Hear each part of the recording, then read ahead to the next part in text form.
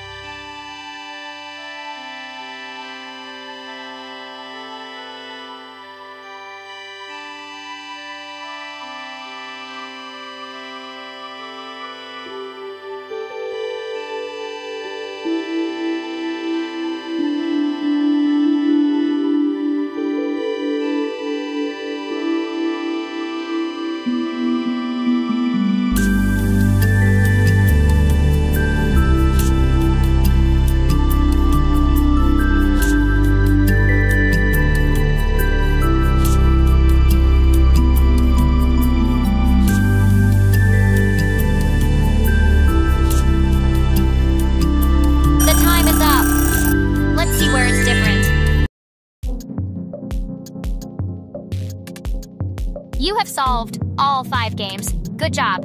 It helps to improve concentration and observation skills, so visit it every day. See you again in the next video.